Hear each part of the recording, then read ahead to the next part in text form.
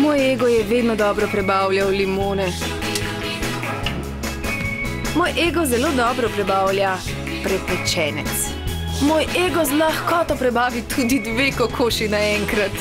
Moj ego tudi sardine prebavlja, brez težav. Moj ego dobro prebavlja vse. Ego z bogatstvom probiotičnih bakterij blagodejno vpliva na prebavo in preseneča s lastnimi okusi.